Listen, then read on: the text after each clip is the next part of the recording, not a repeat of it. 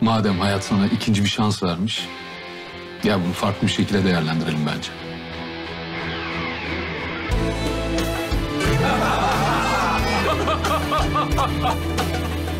E, alışsan iyi olur. Bundan sonra böyle. Malum atsan atılmıyoruz, satsan satılmıyoruz. Yani Yanisi bir arada olmanın bir formülü bulmamız lazım. Bir yerden de başlamak gerekiyor.